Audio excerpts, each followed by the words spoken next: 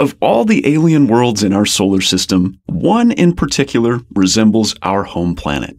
Titan, the largest moon of Saturn, is the only other place we know of where you could walk along the seashore or stand in the rain. However, Titan's exotic seas and its oily raindrops are not made of water, but of the natural gases methane and ethane, super chilled into liquid form.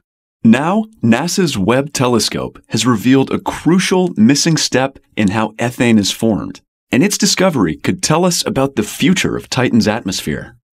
Scientists used Webb's infrared camera to peer through the haze that envelops Titan and spy methane rain clouds forming in its summer hemisphere. Webb also detected methyl, a fragment from methane's breakup, in the upper atmosphere.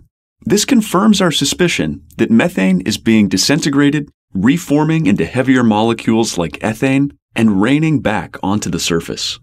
Titan's rain cycle helps to keep its poles covered in lakes and seas, but over time, the loss of methane could cause the moon to slowly dry up. If the methane is not replenished by outgassing from Titan's interior, then its lakes and seas, its rain clouds, and even its haze could all disappear in the far future. So, who knows?